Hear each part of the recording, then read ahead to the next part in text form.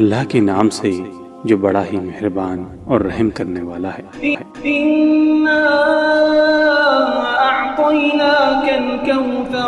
हमने तुम्हें खैर कसीर अता फरमा दिया तुम पर भलाई के खजाने उड़ेल दिए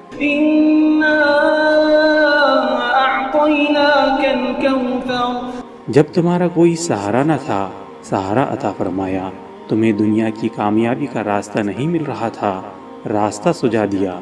तुम्हें आखिरत का रास्ता नहीं मिल रहा था रहनुमाई फरमाई तुम्हें तमाम ज़रूरतों से बेनियाज करके गनी कर दिया।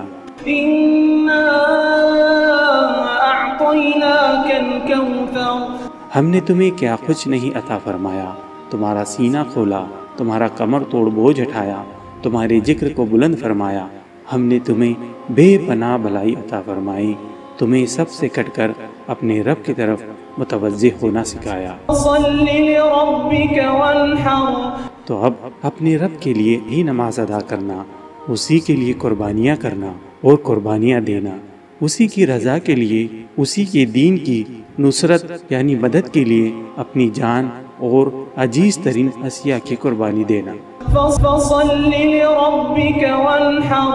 उसी के लिए नमाज़ अदा करना नमाज़ में अपनी दुनिया और अपने ख्यालात को शरीक न कर लेना।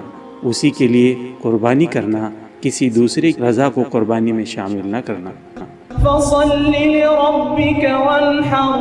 अपने रब की रुबूबियत का निज़ाम कायम करना जिसमें ज़रूरतमंदों की ज़रूरियात पूरी हो। ऐसा ना हो कि हर बंदे के पास रोटी कपड़ा और मकान ना हो और तुम्हारे पास ज़रूरत से ज़्यादा का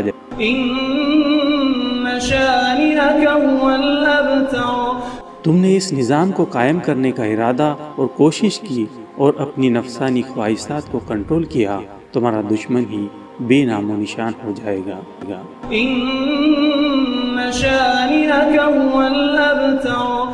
तुम्हारे जाति दुश्मन भी नाकाम होंगे। और दीन के लिए भी तुम्हारी कोशिशों की राह में रुकावट बनने वाले भी नाकाम हो जाएँगे।